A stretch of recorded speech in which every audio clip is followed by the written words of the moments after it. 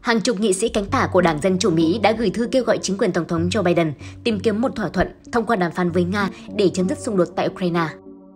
Trong bức thư gửi đến Tổng thống Biden ngày 24 tháng 10, 30 hạ nghị sĩ Đảng Dân Chủ nói rằng khi cuộc chiến đang phá hủy Ukraine và thế giới, gây ra nguy cơ leo thang thảm họa, việc tránh một cuộc xung đột kéo dài là lợi ích của tất cả các bên. Vì lý do này, chúng tôi kêu gọi ngài kết hợp sự hỗ trợ quân sự và kinh tế mà Mỹ đã cung cấp cho Ukraine với một cú thúc đẩy ngoại giao chủ động, tiếp tục nỗ lực gấp đôi để tìm kiếm một bộ khung thực tế cho thỏa thuận ngừng bắn, các nghị sĩ viết.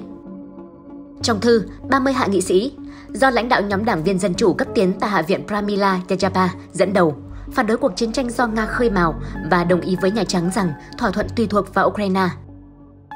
Theo đề xuất, chính quyền Tổng thống Biden nên tiếp xúc trực tiếp với Nga để tìm giải pháp có thể chấp nhận được cho người dân Ukraine.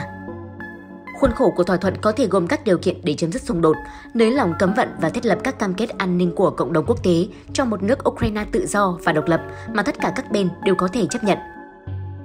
Các hạ nghị sĩ Đảng Dân Chủ cho rằng một lựa chọn khác ngoài ngoại giao sẽ kéo dài cuộc chiến với những nguy cơ thảm họa và không thể lường trước. Khi được hỏi về bức thư, phát ngôn viên Bộ Ngoại giao Mỹ Ned Price nói rằng những người mong cuộc chiến chấm dứt nhiều nhất là người dân Ukraine. Tuy nhiên, ông thừa nhận không biết khi nào điều đó sẽ xảy ra vì chưa thấy dấu hiệu nào từ Nga về việc chuẩn bị tham gia vào việc đối thoại ngoại giao.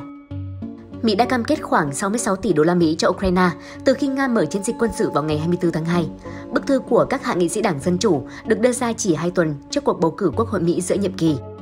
Một số nghị sĩ Đảng Cộng hòa đã cảnh báo sẽ xét lại nguồn tài trợ cho Ukraine nếu Đảng giành quyền kiểm soát Quốc hội.